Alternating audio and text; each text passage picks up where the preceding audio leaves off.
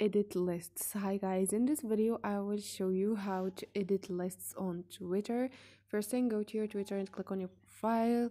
You will find here lists. So here guys you click on the list. You will find edit lists. So here guys you have your list name description and whatever you want. So